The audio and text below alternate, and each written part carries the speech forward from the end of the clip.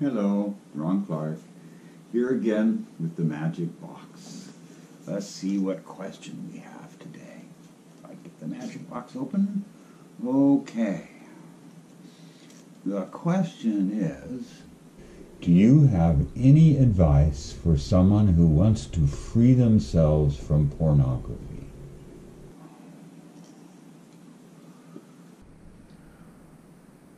The simple answer is yes. But it'll take me a while to get there, so you got to bear with me.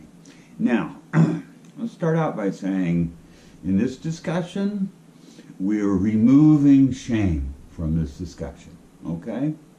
If you have a porn addiction, you do, so what? Okay, there's no shame here.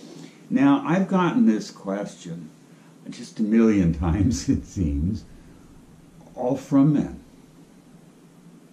All from men. Young men, old men, doesn't matter age, but strictly from men. I've never gotten this question from a woman. Okay? So, I will speak to you as a man, because obviously I am a man. Um, so, at the root of this question is not pornography. It's not sexuality. At the root of this question is control. It's no wonder that you have a porn connection, a porn obsession, uh, because society pushes us to this. Your addiction is is caused is created by our society. Much like alcohol addiction, it is created by the society in which we live. It doesn't negate the fact that it is up to us to deal with it once we have, you know, experienced it or become subject to it. So, in what way is a porn addiction about control? Now, societies have always had ways of enforcing a code of behavior upon its members. This is how societies continue, how cultures continue, by imposing a set of behaviors, right? Now, most common is culture. Our culture we're brought up with acceptable behaviors within our culture. It's different from culture to culture. Another big force is religion. Religion enforces a set of behaviors. It does so in a different way than a culture does. Religion works with shame as the primary motivation, shame and fear, right? Now, in our modern society uh, of internet, of phones, of television, of screen, our, our whole reality is shaped by these uh, sort of mythological ideas about how to behave and each of these media is manipulative. It's, they are all manipulating us at emotional levels, at ideological levels. They manipulate us with emotion, with sound, with color, with image, and with sex. Sex is everywhere in our media, and it is everywhere in our culture. It is the basis upon which we treat each other in our society. We treat women as sexual objects. It seems like we always have, as men, relegated women to the, the status of possession, right? You are here to service my needs as a man. That's the basis.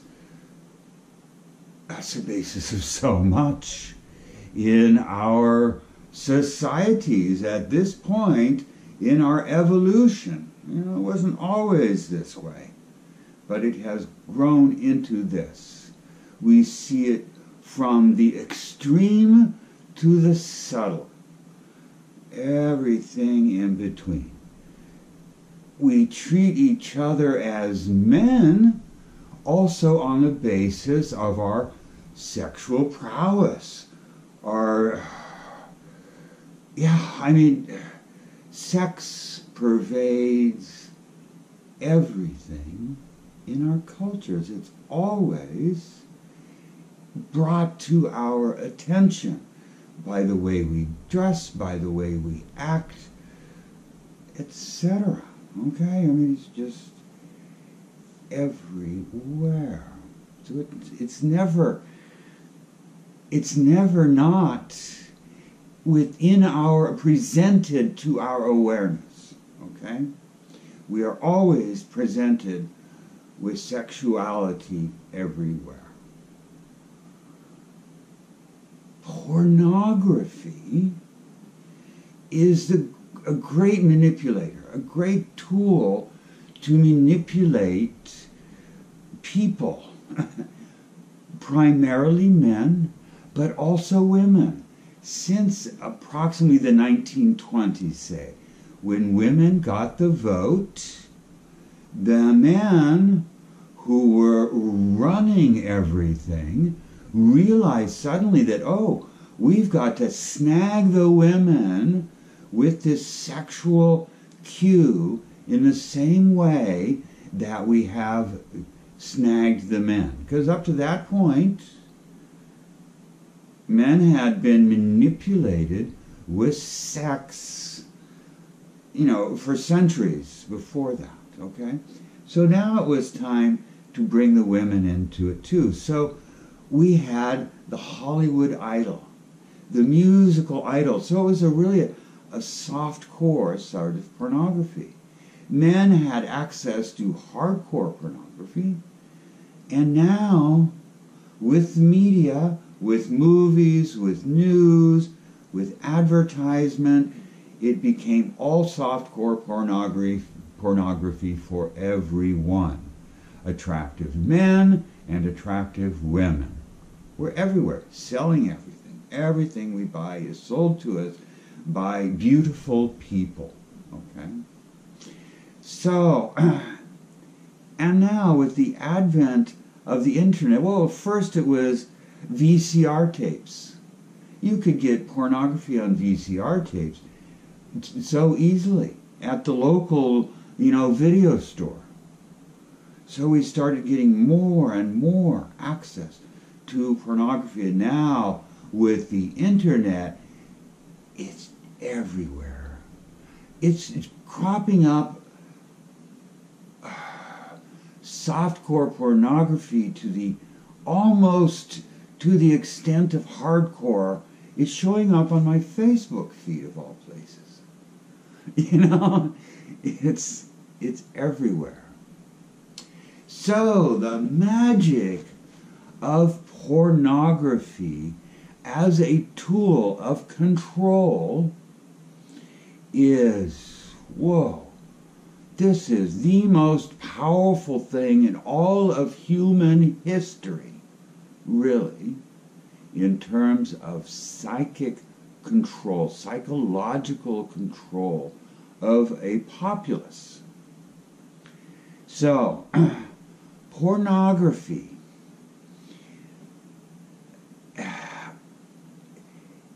the part of pornography that is not spoken is masturbation.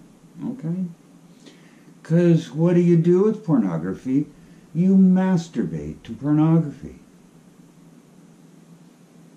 Plain and simple. Now, there's nothing wrong with masturbation, but there's all this societal shame religious, political, cultural shame associated with pornography. with masturbation specifically and sex secondarily. Sex, oh, this is it. The schism, the psychic schism by the way that society treats sex to begin with. This is this utterly natural part of being, a living human being, is the sexual urge. That is part of being in these bodies, but we are shamed. We are shamed for our sexual urges. A woman is a whore. A man is just like, your dick leads you everywhere. We are always shamed for our sexuality, and this creates a schism that is in every one of us, modern Western human beings. This schism of the shame that we experience for something that is undeniable, unavoidable, and completely natural. Completely no reason to be ashamed of, but we are shamed for it. So, we have this schism at the basis of this manipulation. Add to that masturbation, which is an even bigger taboo, but something that again is completely natural. Every every sexual being masturbates. You know, modern science has looked at all these other species of animals that are sexual, and they all masturbate. Every one of us does this, and every one of us hides it. We don't talk about it. well, for the most part. There are, of course, parts of our culture that do, that celebrate it, that revel in it. But that's not the norm. And we're talking here about the norm, okay? The enforced norm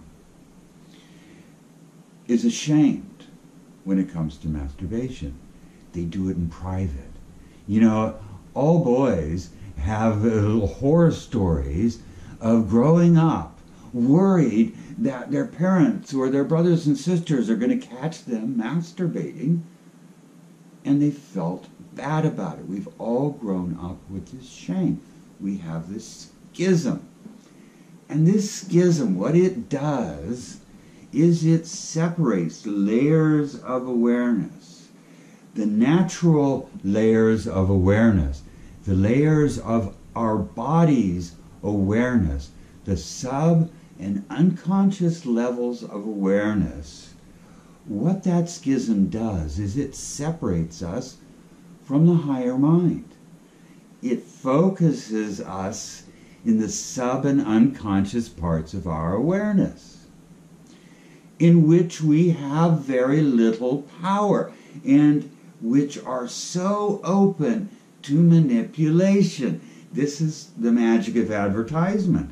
It separates these layers of our awareness and it speaks directly to our sub and unconscious minds telling us you have to buy this, you want this, you can't live without this, this is how you should feel, this is how you should think. Okay?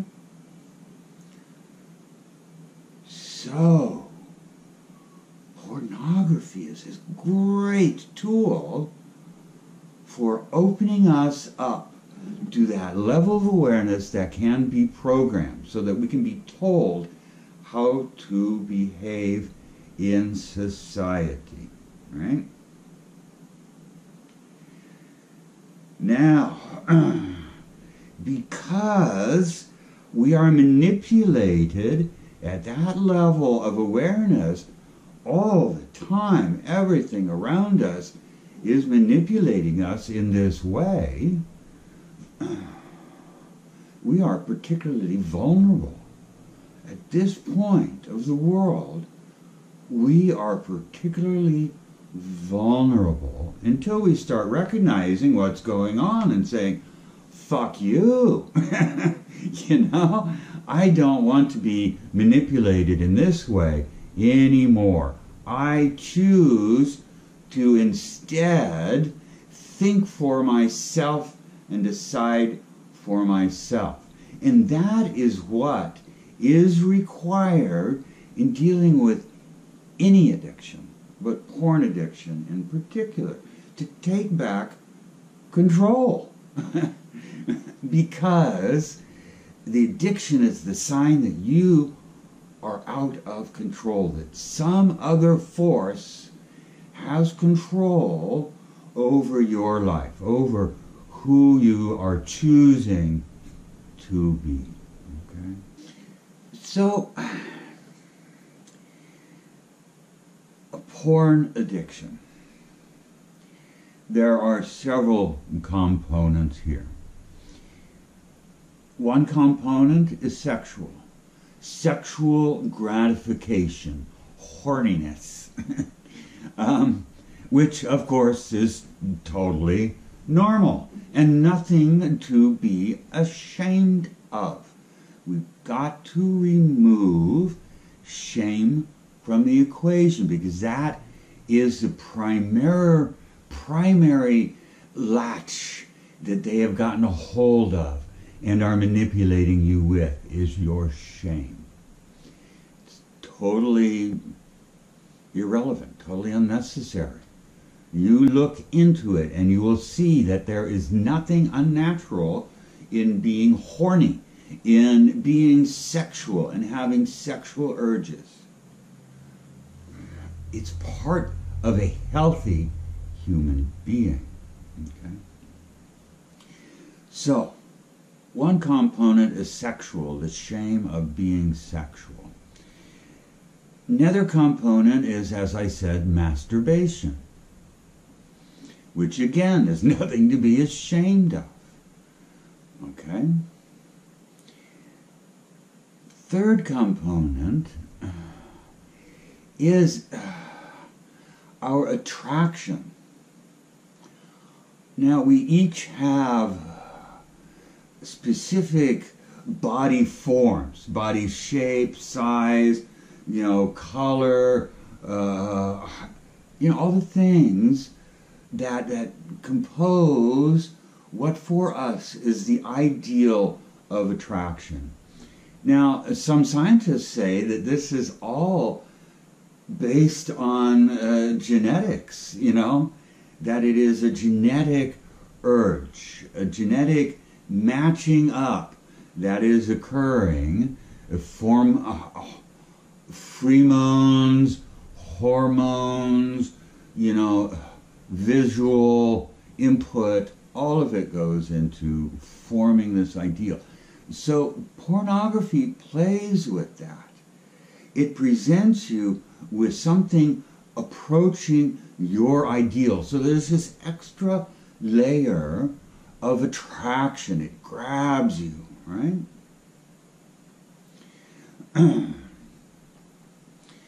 so to to break free of what you you are calling an addiction to porn and we have to really define what we mean by addiction but We'll get to that. To break free of that, you have to identify all the ways in which you are being manipulated, all the uh, handles that this, this power of pornography is grabbing hold of to manipulate you. In other words, you have to bring your higher mind into what is happening with you and pornography.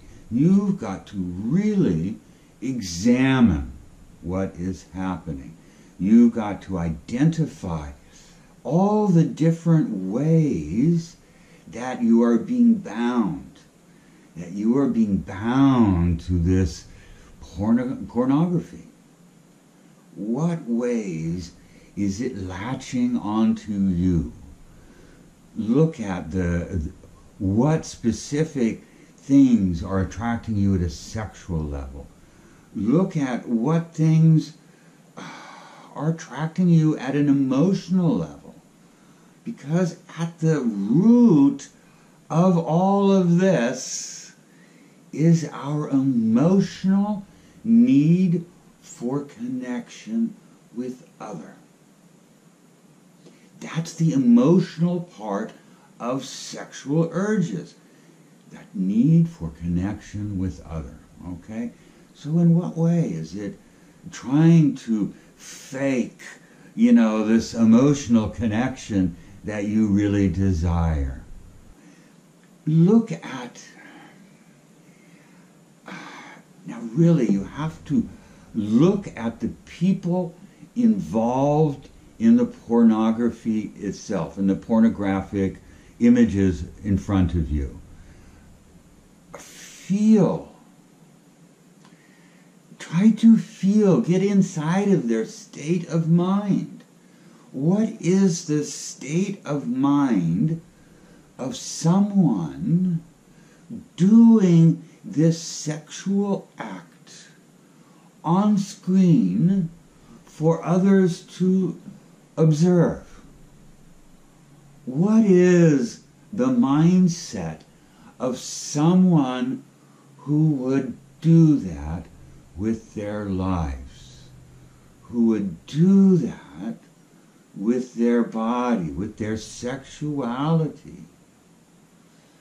What sort of psychological twists and turns does it take for you to be that person on the screen.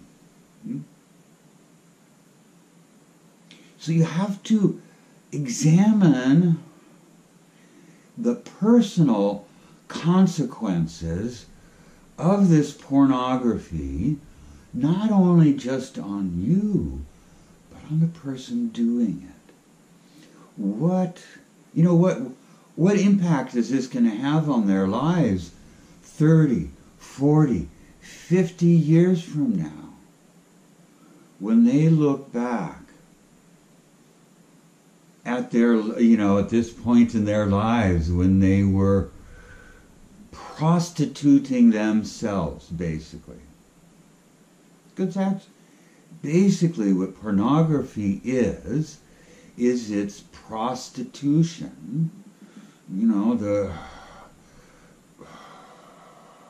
the give and take is a little different than ordinary prostitution, person to person, in person prostitution, but it comes down to the same thing.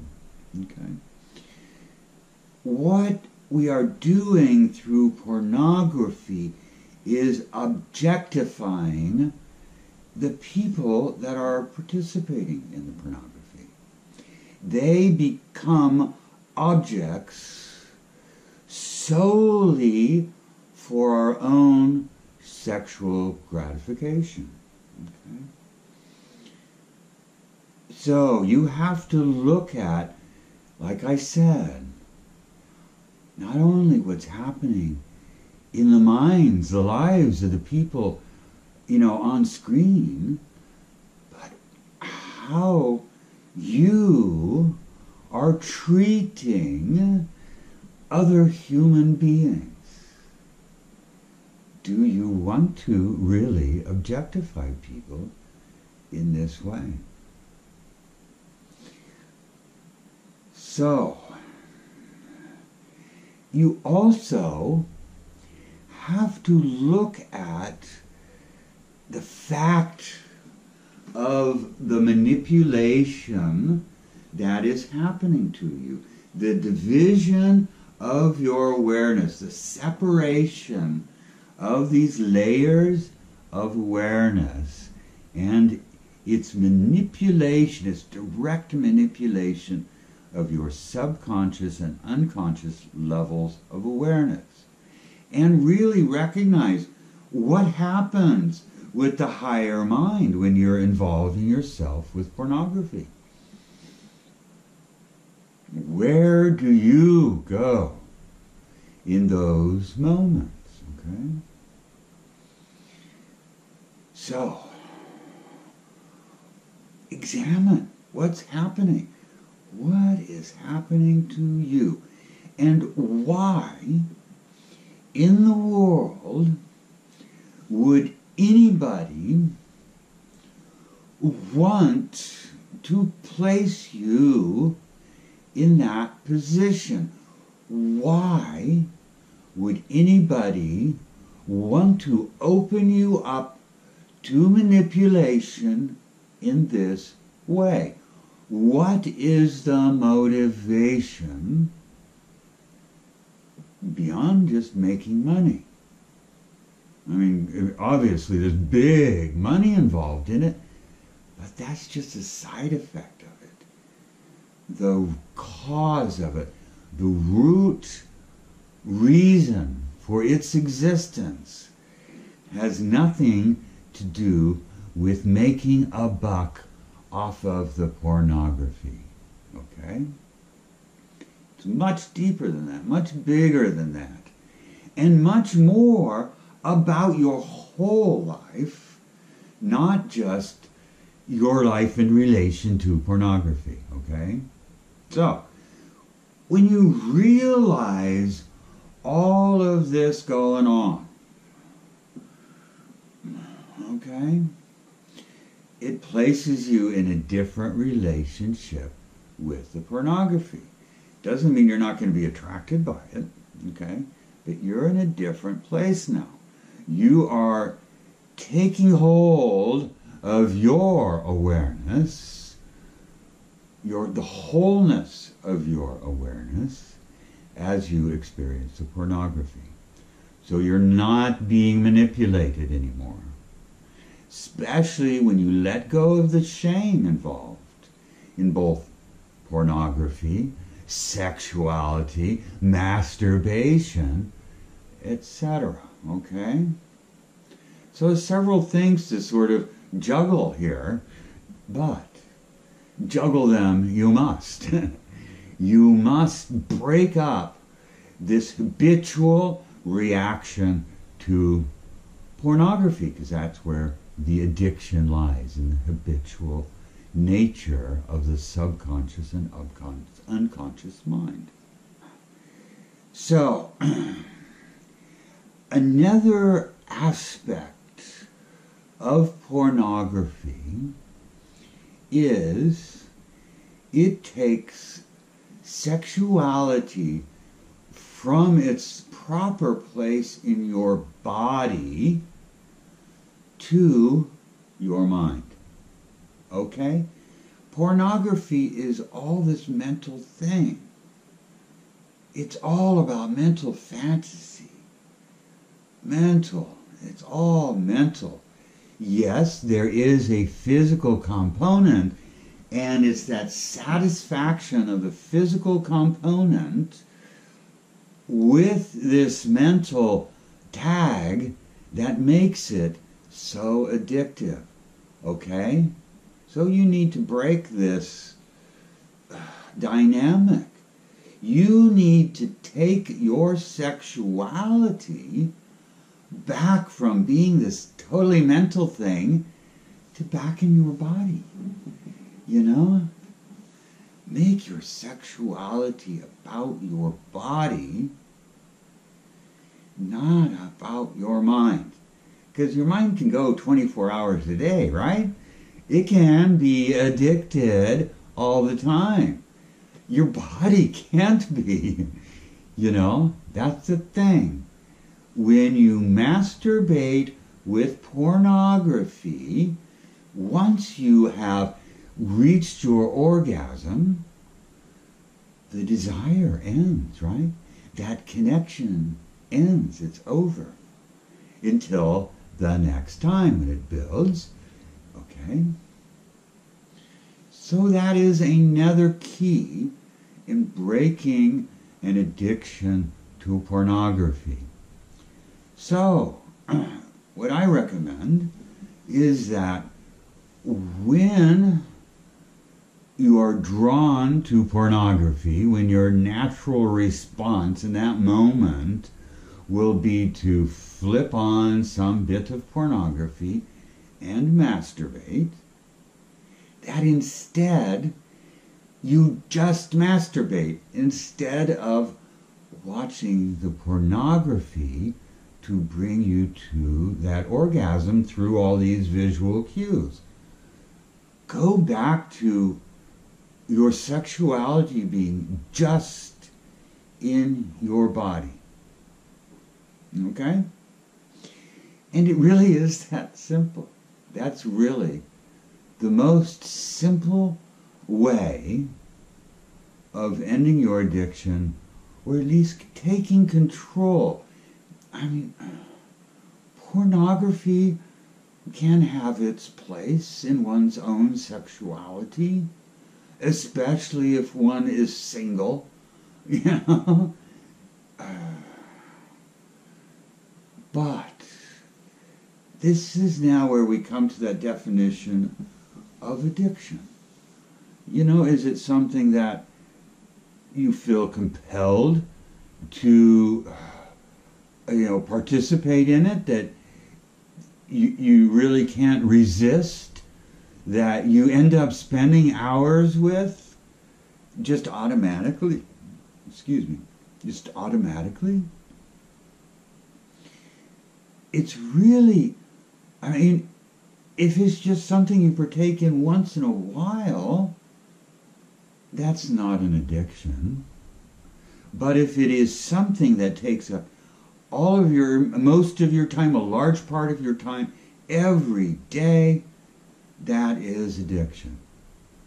But however you feel about it, address it. Address the shame. Address the discomfort. And address that schism internally that separates the layers of your awareness and discards your higher mind. You've got to repair that, whether it is an addiction or not. You know, we all have to repair that in regard to our sexuality as human beings. And we all have to address the ways in which our behavior is shaped and manipulated by external forces. And we have to look at why and who. These are important questions for the modern human being. who, why, where, when. ask, ask questions. Just always ask questions. Uh, it's the most powerful thing you can do is to question everything. And especially the things that we feel shame around. So, there you go. And I hope now in the future, when people ask me this question, I can just point them to this video and I won't ever have to answer it again. Okay. So, next time with the little magic box, we'll see what the question will be. And again, if you have any questions at all, please put them in the comments and they'll get added to the list and get cycled through. Okay, bye bye.